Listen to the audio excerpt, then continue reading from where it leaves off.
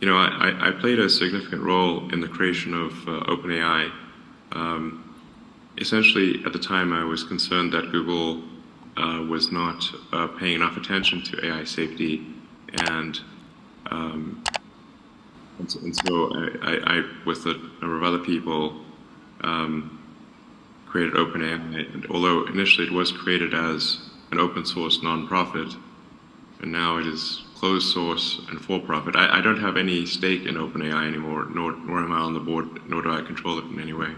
Um, but the, the ChatGPT, I think, has illustrated to uh, people just how advanced AI has become. Um, the, because the AI has been advanced for a while, it just didn't have a user interface that was um, accessible to most people.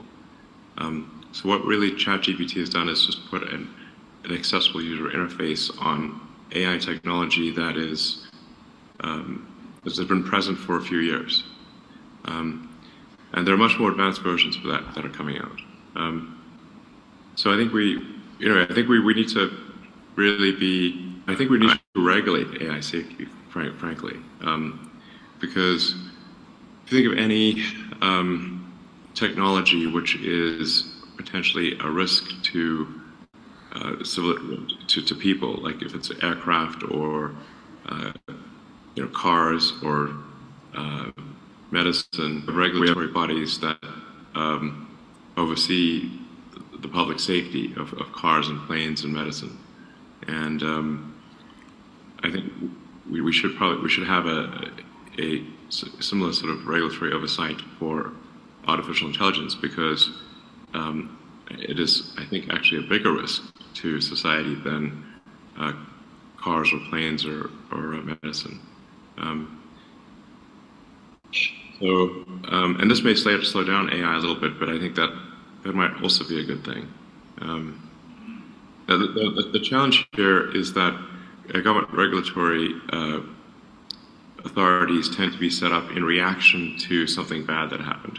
So, you look at say aircraft or, or cars, um, you know the cars were unregulated at the beginning. Aircraft were unregulated, uh, but they had lots of um, you know, airplane crashes, and in some cases, manufacturers that were cutting corners, um, and and a lot of people were dying. So they, the public was not happy about that, and so they established a regulatory authority to improve safety.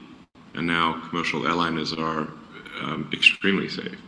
Um, in fact, they're safer than than if, if you were to drive somewhere. Uh, it's, the safety per mile of a commercial airliner is better than a car. And, and cars are also extremely safe compared to where they used to be. Um, so, um, but if you say, if you look at, say, the introduction of seatbelts, uh, the, the auto industry fought the introduction of seatbelts uh, as a safety measure for, I think, 10 or 15 years um, before finally the Israeli put seatbelts in cars. And that greatly improved the safety of cars. Um, and that airbags were another big improvement in safety. So um, my concern is that with AI, if, if there's something bad, that, if something goes wrong, um, the reaction might be too slow from a regulatory standpoint. Um,